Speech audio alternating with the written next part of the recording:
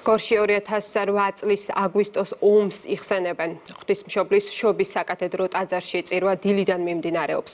მოგვიანებით კი ატენისა და გორის მიტროპოლიტი ანდრია დაღუპულთა სულის მოსახსენიებელ პანაშვიდს ქვაჯვართან აღავლენს.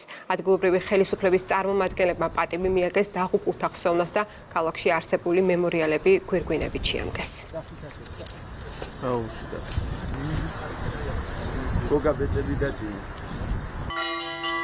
ფული დღე არის ეს, მაგრამ ამავე დროს საქართველოს ისტორიაში დიდი ესეთი გამოცდილების დღე არის. მე უკვე ანდრია ატარებს მათი სულის მოსახსენებელ ლოცვას, რომ ყველას ერთად კიდე გავიხსენოთ და მათ პატივი და ლოცვა მივაგოთ მარადულ ცხოვრებაში. 2008 წლის აგვისტოს ომი უახლოეს ისტორიაში ჩვენი ქვეყნის უმძიმესი მოვლენაა.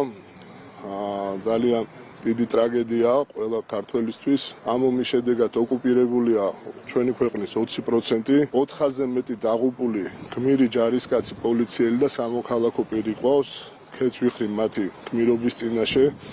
თუმცა მათი გმირობა მაძლევს იმის საფუძველს და იმეც რომ ჩვენ ძალიან მალე გავერთიანდებით. 16 წელი შესრულდა იმ უდიდესი ტრაგედიიდან რომელიც დაატყდა ჩვენს ხალხს. 2008 წლის აგვისტოს ომში აი ამ უთანასწორო ბრძოლაში ოდესაც ჩვენი ხალხი დადგა პირისპირ ამ მონსტრთან და მიუხედავად ამ ძიმე ტრაგედიისა ეს დღე ჩვენი გამარჯვების დღეა. ეს დღე არის ჩვენი დაუჩოქებელი საქართველოს სიმბოლო